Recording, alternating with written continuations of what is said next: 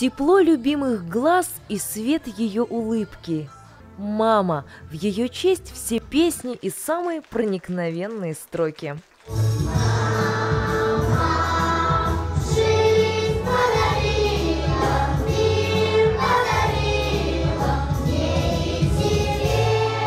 Я пела песню «Добрая, милая мама», и она улыбается, и я чувствую, что она, что она гордится мной.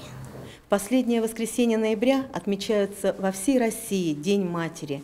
Самый трогательный, самый нежный праздник для мам, но мы его отмечаем сегодня, 22 ноября. И не просто у нас праздник, у нас праздник, связанный с годом экологии. А потому вперед на экологические станции, вооружившись цветными карандашами, заявлять о самом важном. Мы решили изобразить то, именно к чему нужно проявить любовь и соблюдать, ну, то есть как бы убирать за собой мусор, э, беречь животных, лес, естественно. Ведь и в то, что точно уже не пригодится в быту, можно вдохнуть вторую жизнь.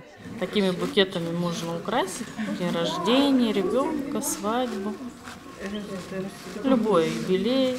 Ну, очень красиво. А еще можно не только поработать руками, но и пополнить копилку знаний интересными фактами о хвойных и лиственных, или вообще отправиться прямиком в космос. Это очень удивительный мир, это великая книга природы. И сейчас мы с вами э, тоже попытаемся узнать немного об астрономии. Кому-то из мам удалось освежить свою память, а кто-то даже расширил свой кругозор. Безучастных не осталось. Интересно, любознательно это.